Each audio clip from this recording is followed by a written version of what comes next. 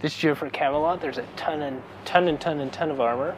Um, they're dancing in the armor, so some of it needs to be really light, and it's made out of um, vacuform plastic, which is the same type of plastic that they use in airplane interiors, and it's um, pretty good stuff. Some of it comes on, and other stuff we apply apply in house. Um, it all depends on what the designer wants and how we can purchase it from the company.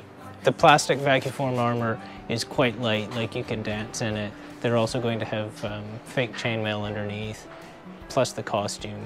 Another thing that we've been doing is using armor molds from the past. Um, the designer brought us this helmet from the warehouse and really, really liked the shape, but there were only two of them left in the warehouse and half of the original mold. It was from the 60s. So we took one of the helmets, blocked it up, and made a new mold. So we've put new life into a helmet from 1960. So this is the new helmet from the mold. Uh, same shape, we've smoothed it out a little bit and covered in the entire front so that you can cut out any shape. And we'll use this again for another 20 or 30 years to come. This, uh, the helmet's constructed out of fiberglass, which is the same thing that they use to make boats and Corvette bodies. The other neat thing about these helmets is um, because it's a musical, they're turning into tin can microphones. So we're going to build it, the lapel mics right into the helmets, and then the cord will run down the back. Rather than miking the actor, they can just put the helmet on. This helmet here is another helmet that we have in stock. It's a metal helmet. It's actually quite heavy, but it's the same thing. If you can evenly distribute it on the, on the head, it sits nicely as long as they don't have to do too much action.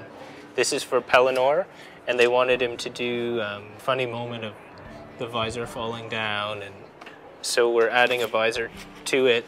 I usually take my measurements with a set of calipers. Um, grab the side to side of head, front to back of head, uh, chest, chest size, and then go from there because you're looking for the main box that they fit in. And then we can start to fit it after that.